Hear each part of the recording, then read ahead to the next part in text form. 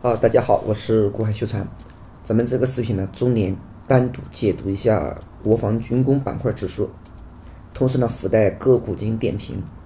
好，那么首先对于国防军工板块指数的话呢，其实自己也一直在进行观察。那么它的一个走法的话呢，其实对于军工而言，嗯，从一千三百九十三点六三以来，其实呢，反弹它也没有突突破前面的高点。回落一次，回落两次呢，它也没有跌破前面的低点。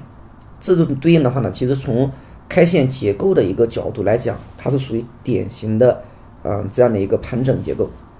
好，那么在这样的一个盘整结构当中，而对于军工，除了它本身的这样的一个国防开支，包括呢像，嗯，像军事现代化的一些武器装备的更新等等，包括呢像一些，嗯。这些基本面的一些因素之外啊，更多的其实呢，它也容易受到消息面的一些影响。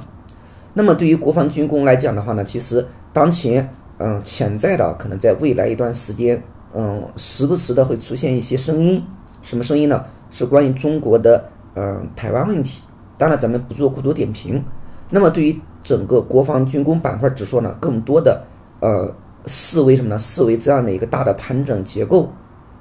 那么量能的话呢，它也没有明显的嗯放量。那么对于这个板块来讲的话呢，其实更适合在没有不断的就是不断的创新低，或者呢没有给出持续的放量之后呢，嗯突破，更适合呢更适合以箱体的一个视角，或者以这种震荡的一个视角来把握一些高抛低吸的做法。这是国防军工。那么我们再结合呢分钟级别来去看，好像分钟级别的话呢。嗯，其实咱们前面呢也给大家去解读过啊，从一千三百九十三的位置，它是一个，嗯，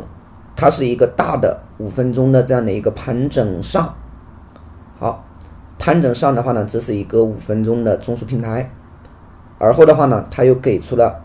好这样的一个呢五分钟的下，好，那么五分钟下过之后呢，当前它实际上是只是一个五分钟的一个，嗯。线段上，线段上过中呢，因为突破了前面的高点，那么呢，它后面的一个走法的话呢，其实回落只要说呢不破前面的低点的位置，那么呢大概率的还是有机会呢再一次冲高。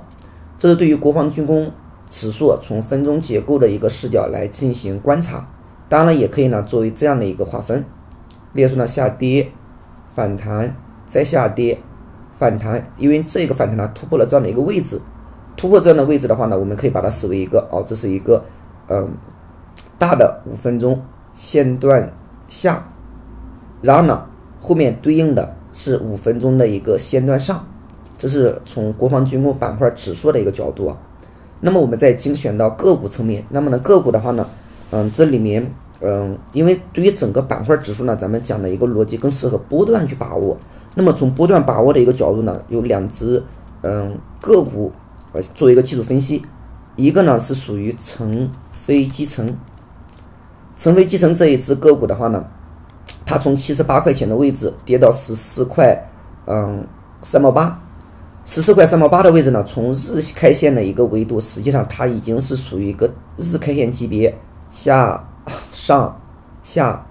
上，那么这一个呢，下上下，它就构成了一个日线级别的中枢平台。那么这个中枢平台呢，如果说把它作为一个延伸线，那么这个位置呢，它实际上是构成了一个下跌之后，构成了日线级别的一个三买的一个位置。好，而后呢再进行冲高，这是成飞机层。那么呢，用波段的一个视角呢，用咱们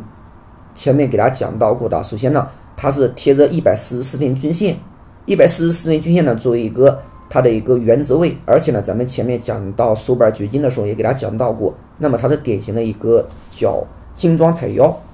涨停后面呢冲高调整多日不破，呃涨停板二分之一位，属于精装踩腰的位置。那么像这类个股呢，它适合去把握，用波段的视角去把握。那么当前的话呢，它在这个位置就是考验前高。那么呢，我们可以把呃十三天均线呢作为一个。防守线来进行关注，因为呢，它已经多日收盘价呢都不破十三天均线，那么以这个位置呢作为一个嗯防守位来进行观察和跟踪。好，那么第二个呢，像捷赛科技，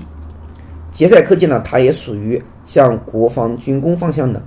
那么国防军工呢，呃，这一只个股呢，其实它的一个历史走势来讲的话呢，其实从九块三毛五以来啊，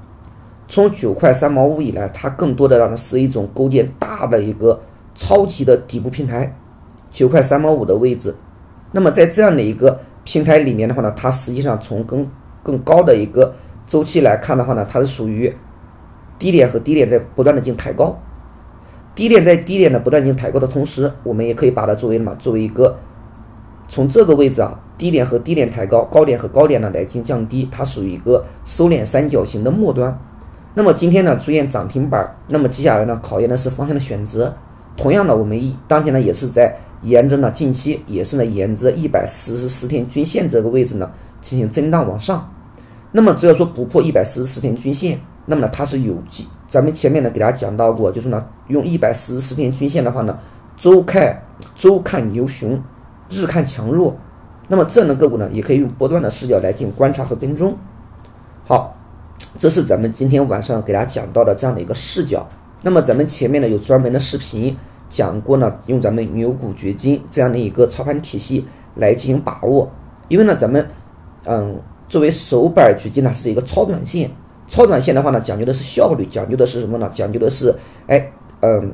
在首板的位置出现呢，前面有一个呃震荡平台，作为一个首板突破，突破的话呢，回落把握一个绿盘低吸，那么平台作为支撑，后面呢资金的惯性，然后呢也是属于嗯，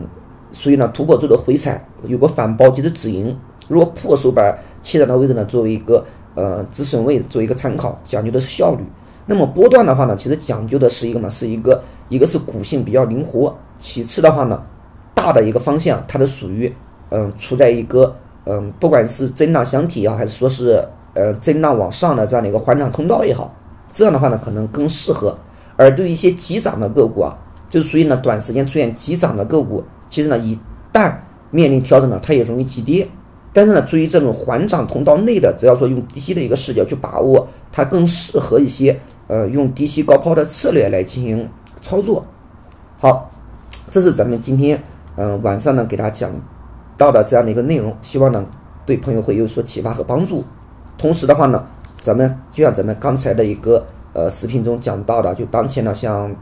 呃原油、沪铅、沪镍、沪铝、沪铜都属于下跌的。然后呢，像焦煤、嗯螺纹、铁矿是呢嗯下跌之后呢调整过之后又出现这样的一个反弹。那么明天呢，周期方向呢一定是分化的。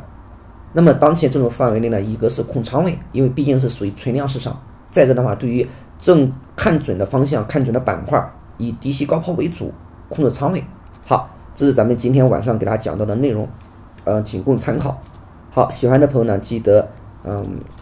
喜欢的朋友记得点击关注，同时呢，欢迎积极的点赞留言。好，再见。